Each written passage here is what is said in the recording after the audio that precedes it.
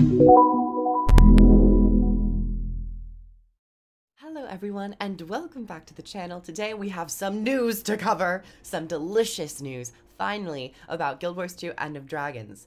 Apparently, a select few media outlets were invited to play End of Dragons early.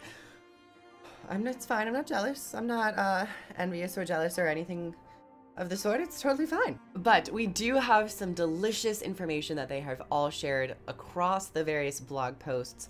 You'll probably find it on social media if you go on Twitter. You'll find multiple different outlets where people have written up their reviews. But in today's video, I will be personally using Massively Overpowered's article to pinpoint some information, some new bits of information that we have yet to see, and of course, show off some of the screenshots that they have captured during the preview event. Now, when it comes to guild halls and fishing, I'm not necessarily a huge fan of those.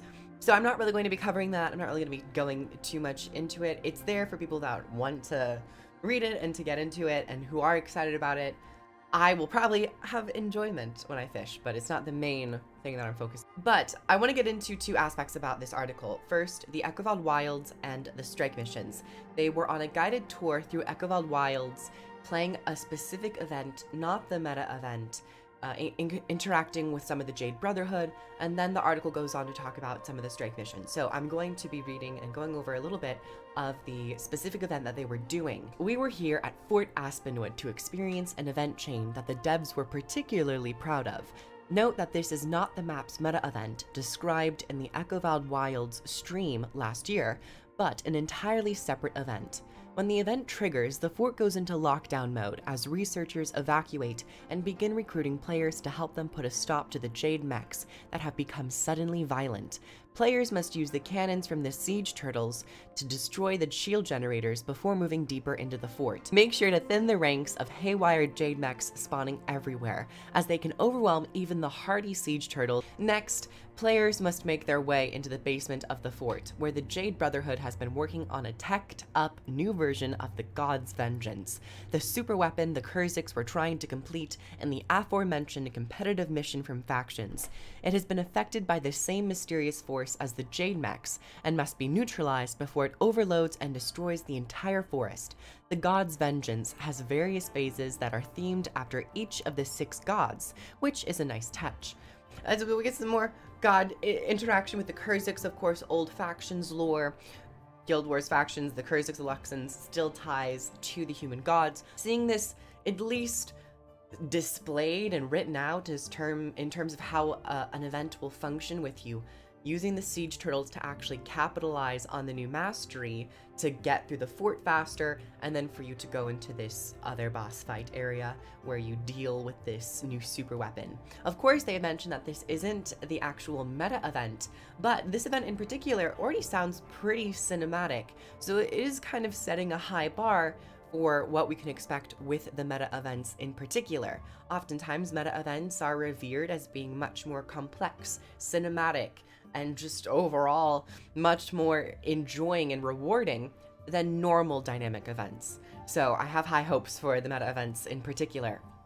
And then after the Echovald Wilds segment, they talk about strike missions, and this is where I really want to get into it and have like my overall reaction. Right off the bat, loved the stuff on the Echovald Wilds. This article continues.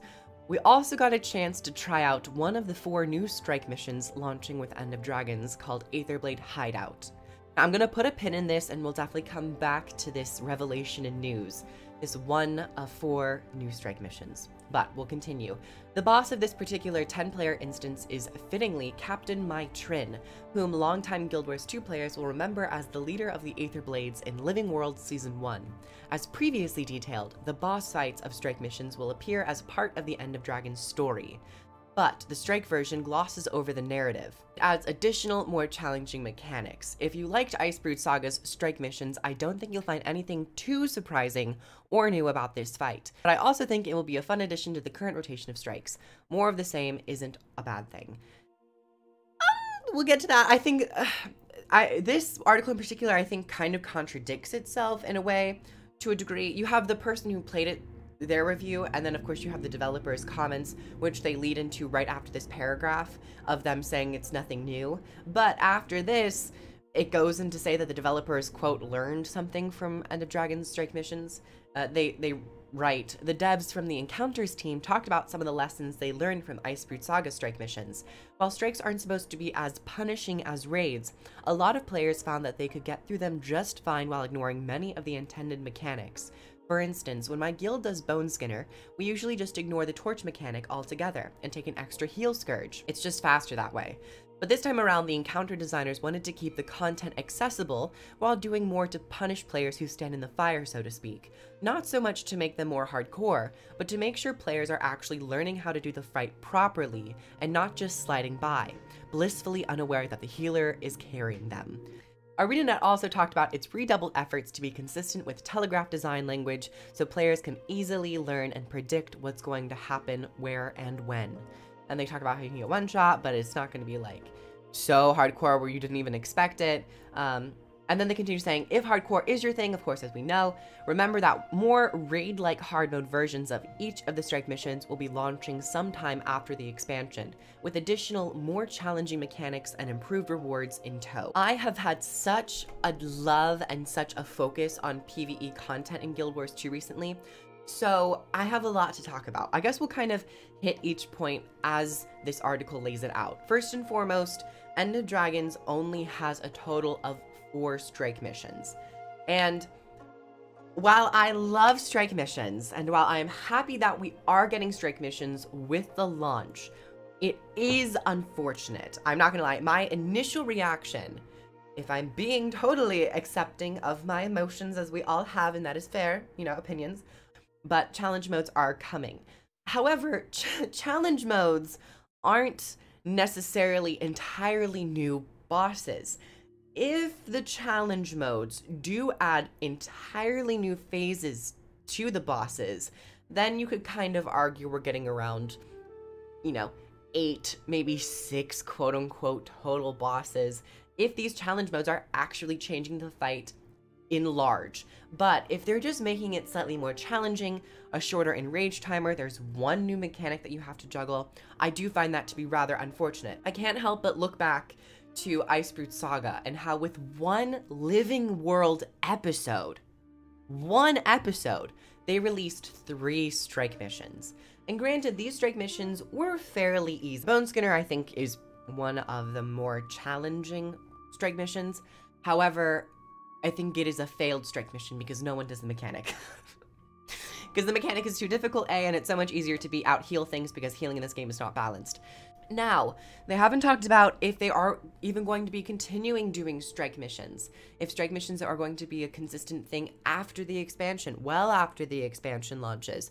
Will we have grace periods and drought periods where they are padded by introducing one or two strike missions every month, every other month? however long it takes, or are they going to be paired up with a living world? And how soon is the living world going to be coming to the game? There's so many questions to where getting an announcement of one of four does feel a little bit more gutting than if we knew more information as to if strike missions are going to be a consistent thing that is on their own timeline or if they're going to be connected to Living World and how soon after are they actually doing production for Living World. There's a lot of questions here that we won't get answers to. Nevertheless, this article is confusing uh, to a degree but you always get this. You one person says one thing, another person says another. The person who writes this wrote the article in a way that, at least to a veteran and an experienced player, left a sentiment of nothing new to these strike missions. They're not looked at as something that is uh, a, a, separate, like a totally increased level from Icebrood sagas. They had mentioned that they're more of the same. And I would argue for an expansion, you don't want more of the same. You want to have a, a consistent branch of content. You want to have a consistent, like, are you doing dungeons? Are you doing raids? Are you doing fractals? What are you doing? Stick with that. However, the strike missions themselves, with expansions, I want them to be bold. I want the mechanics to be rather intricate, even for strike missions. I want them to be more elaborate than just Fraenir of Jormag, or, or just the two Kodan that are like easily killed within a minute or two of them actually uh, starting the encounter. And I was really hoping that the strike missions inherently had a level of difficulty of raids. Because honestly, raids are not all that challenging, most of them, I'll say. They are a fun time, and they're not necessarily a cakewalk, but I think raids actually have a really healthy middle ground, most of them. Uh, but if they went for more of that level, I would have really appreciated that. But from the way it's written in the other articles that I've seen, I haven't necessarily gotten the sense that they are equivalent to the current raids. And this is endgame. This is the endgame of Guild Wars 2. And if we are not continuing with raids, because that is very up in the air in terms of a question, I want strike missions to actually be raid quality, where the difficulty of the boss is comparable to a raid. Because you don't have to do the whole wing, you just have to do the boss in the arena. And then for the challenge modes, I was expecting them to be similar to challenge mode raids, where it's that difficulty of raids, but then bumped up. It seems like End of Dragons is going to maintain in its Icebrood Saga difficulty from the writer's perspective. But then we get the comments about the developers and how they've learned from the situation of Icebrood Saga, where they are not making it to where you can, I guess, easily cheese and neglect mechanics, but you can still get one shot, which does increase the level of difficulty in, in a way. So I'm really getting mixed signals from developers versus the actual product reviewer. I kind of fall into this middle ground where I don't know what to think, and it's more so a matter of this is probably an entirely subjective point of view where we have to then just wait to play it ourselves. We can't really take one person's word for it or even four or five people's word for it. But if we got a collective of like 20, 50 people together where they all then gave their their comments in, in terms of the difficulty and intricacies of these strike missions and then average them out, maybe then we would get a clearer picture. But I don't think we can really do that with the information that we have at hand. That's my long-winded uh, topic about the news that we got about strike missions. Yes, I'm happy that we are getting strike missions. Yes, I'm disappointed, at least without any knowledge or, or experience of playing the strike missions. I am disappointed that we're only getting four, though it's a toss-up.